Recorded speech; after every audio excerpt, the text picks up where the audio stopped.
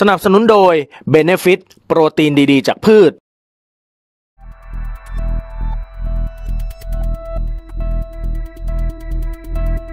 ประเทศกรีซมีเจ้าของเรือบรรทุกรายใหญ่ และบริษัทเรือบรรทุกจำนวนมาก เป็นประเทศเจ้าของเรือบรรทุกที่ใหญ่ที่สุดในโลกมาโดยตลอด แต่ตัวเลขสถิติล่าสุดของบริษัทวิจัย Clarksons ซึ่งเป็นองค์กรการวิจัยการเดินเรือชื่อดังของโลก ได้แสดงว่า ศักยภาพการบรรทุกเรือของจีนได้แซงหน้ากรีซได้กลายเป็นประเทศเจ้าของเรือบรรทุกที่ใหญ่ที่สุดของโลกอีกด้วย ปัจจุบัน ขนาดเรือที่เป็นเจ้าของจากจีน มีขนาดบรรทุกสินค้ามากถึง 249 ล้านตัน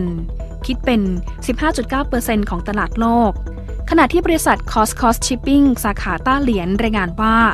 ในบรรดาการซื้อขายของปีนี้ มีมากกว่า 80%มาจากลูกค้าของจีน การเพิ่มพูนจำนวนเรือของจีนนั้น ได้มาจากการขยายตัวอันรวดเร็วของการค้า และกิจการขนส่งทางทะเลที่กำลังฟื้นฟู และอุตสาหกรรมการต่อเรือที่ก้าวหน้าของจีนด้วย